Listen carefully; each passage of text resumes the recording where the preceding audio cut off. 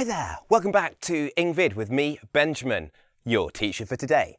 Today we are going to be looking at phrasal verbs to talk about health, illnesses and sicknesses, helping you to talk about those things, whether you're coming to the UK for a visit or whether you're doing an IELTS speaking or you just want to be better generally at English with more phrasal verbs at your disposal. We are going to start today by playing an anagram game, just to get your mind thinking so that I know you're concentrating for the full duration of the video.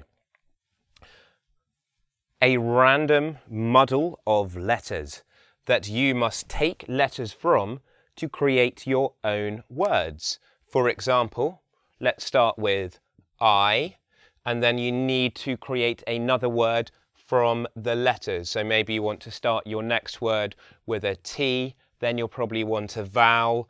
So maybe A, oh, there's a P, I tap. Okay, I want you to have a go at this.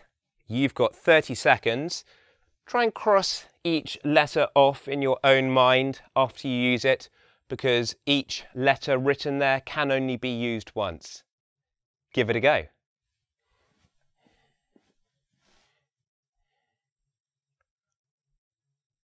You have 20 seconds left. And 10. wrapping it up now, trying to create some sort of phrase.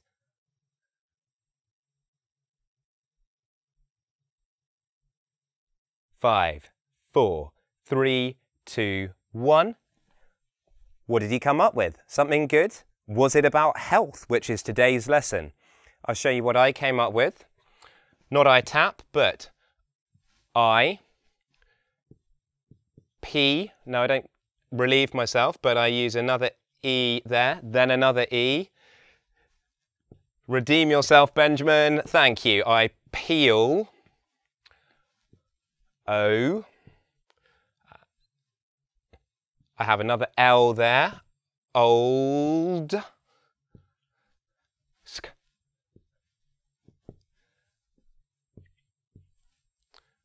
And I have an A here, a B there, an S there.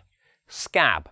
If you fall over and hurt yourself, you might bleed. Your then skin um, heals itself and you will have what is called a scab. First word in today's health lesson. Let's learn some phrasal verbs. Well done, you made it back to the second part of the lesson. So, we have one, two, three, four, five, six, seven phrasal verbs here and a few more over there. I'm going to be putting this into the context of my impending, that means about to happen, impending. I'll write that down for you. My impending trip to India. I'm going there on Saturday. So, come down with. Um, so come just means, you know, going somewhere. But if you come down, um, down and up often reflect emotions in English. If you come down with something, it means you're coming, you're picking up some kind of illness. You become unwell. So you come down with means you get, you get sick. I hope that I don't come down with anything when I am there. So after the with, you list a general um, category or you specify what you are coming down with, a bug, an allergy. Okay. To be blocked up. The blockage is referring to the nose, okay? Because if you pick up a cold, then you will suddenly have lots of um, stuff in your nose. So you don't want to be blocked up, okay? To be blocked up. Um, I don't imagine that I will be blocked up because blocked up we think of more with colds, with being in a colder place. I, am not expecting to be blocked up when I am in India. Throw up, possibly. Um, or bring something up. So throw and up this is a movement coming from your stomach, up, up, up, and throw. throw up is to be sick. Hopefully not projectile vomiting. I better write that down as well. Pro projectile means throwing quite a long way. Um, it may be that I throw up if I get a stomach bug. To bring something up. So you're bringing, it's like you're bringing a nice flower to give to someone, but you're not bringing up something very nice at all. In fact, it's quite unpleasant. Bring something up. You're bringing your food up. Um, to swell up. So this we can use to talk about the sea as well. Okay, when there are big waves, you say there's a big swell. It means something getting bigger. To get bigger. If I got bitten by a snake whilst I was in India, that part of my body would swell up. In the past tense, you would say it, something is swollen, swollen up. Okay, but because I have strong body, my body has defenses and my body is going to fight off any illnesses, okay? My immune system The immune system is your body's defense, your body's defense. My body is going to fight off any illnesses. Um, you could also shake off, okay? Shake dogs shake to get dry. Okay? So if you shake off a bug, you're saying, illness, no, no, no, no, no thank you, I'm okay, no bug for me, no disease for me. Um, to get over something.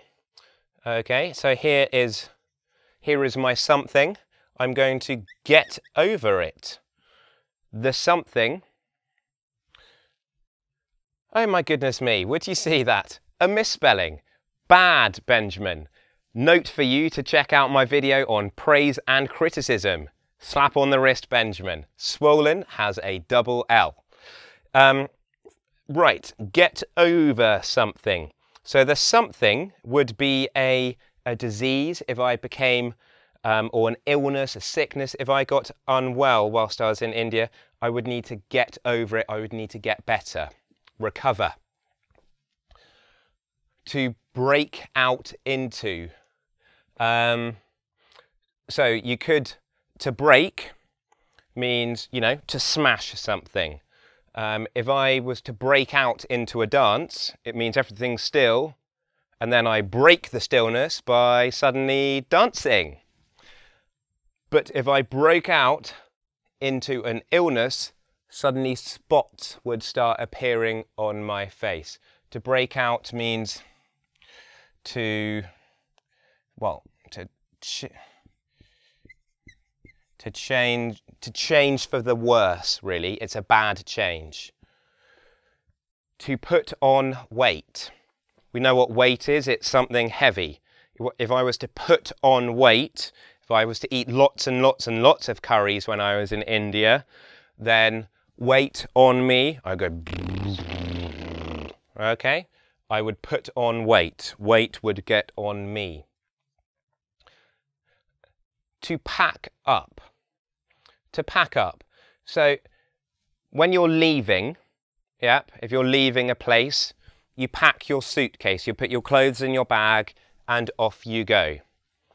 It's the same with your body. If your body is tired and is fed up, it goes, that will be enough, thanks, Benjamin. I'm going to pack up now, okay? I've had enough. So to pack up means sort of give up, break. If your body packs up, it stops working properly. To pass out. Um, so out, we have this idea, uh, the preposition takes us away from something, yep, the way out is through the exit.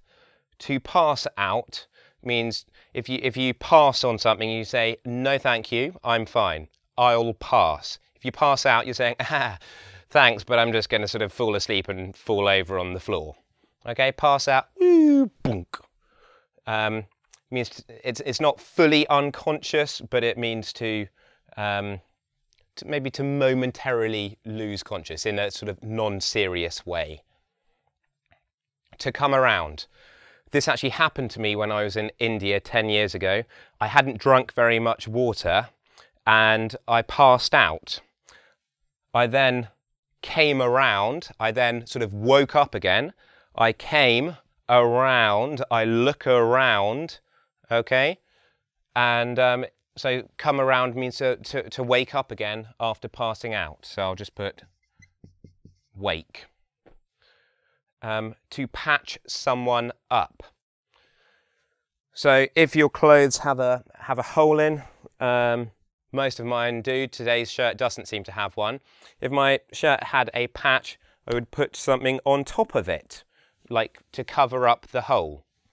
It's the same with your body. Yeah. After I had passed out, I had hurt my chin. So the doctor needed to patch me up, put something there, to put maybe a plaster, to connect the skin together again, to heal it, to help it. Okay? Let's think of Humpty Dumpty sat on the wall. Humpty Dumpty had a great fall. All the king's horses and all the king's men couldn't put Humpty together again. Well, if they knew how to patch him up, they would have been able to put him back together again. Um, rather sad, this one, pass away. Okay, so again, the idea of note, that's enough, away, off you go. Um, this is a way of saying to die. Um, so just put that there to end on a nice cheery note. Okay, thank you so much for watching today's video. My name's Benjamin. I love engVid. It's fun. Let's watch some more. See you on the next video. Bye.